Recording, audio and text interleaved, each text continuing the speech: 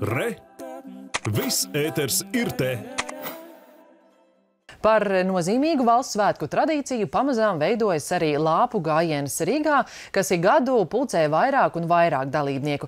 Tā sākums pulksten 18.00, bet gājiena dalībnieki jau pamazām pulcējas tā sākuma punktā pie Kārļa Ulmaņa pieminekļa, un tur šobrīd atrodas arī Anita Bērtula. Labvakar, Anita, kā šobrīd izskatās, vai gājiens būs tikpat vērienīgs kā pirms gada?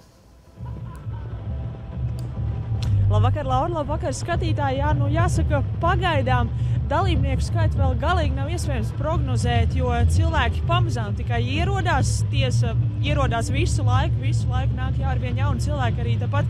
Uh, Basteikalnā var redzēt, ka cilvēki pulsējas nelielās grupiņās. Tie, kas vēlas, vēlējās klausīties koncertu, ir atnākuši ārā ātrāk, bet uh, pagājušā gada pieredze rāda, ka ļoti daudz ieradīsies tieši uz pulksten sešiem uz gājienu sākumu. Un tieši tāpat bija arī pērn, kad līdz pēdējiem nevarēja saprast, cik īsti daudz cilvēku ir atnākuši, bet kad gājiens sākās, cilvēki tikai gāja un gāja un tiešām šķita, ka lāpu strauma ir teju nebeidzama.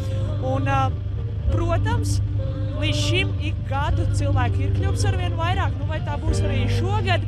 Uh, laika apstākļi vismaz ir nedaudz patīkamāk kā pērn, jo toreiz tiešām stipra līja un šādā lāpu gājienā drošības apsvērumu dēļ iet ar lietu sargiem īsti nav ieteicams. Šobrīd tikai nedaudz brīžiem uzpildīt, tā kā laika apstākļi noteikti ir patīkamāki.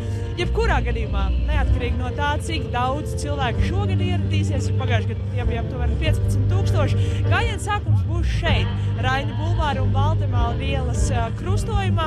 Tālāk gājienu dalībnieki dosies pa Valdemāra ielu, un uh, autovadītājiem jāņem vērā, ka šajā laikā Valdemāra iela arī tiks slēgta posmā līdz Vānšu tiltam. Tātad uh, tālāk gājienu dalībnieki dosies līdz Nacionālajiem teātrim, kur dosies iekšā Vecrīgā.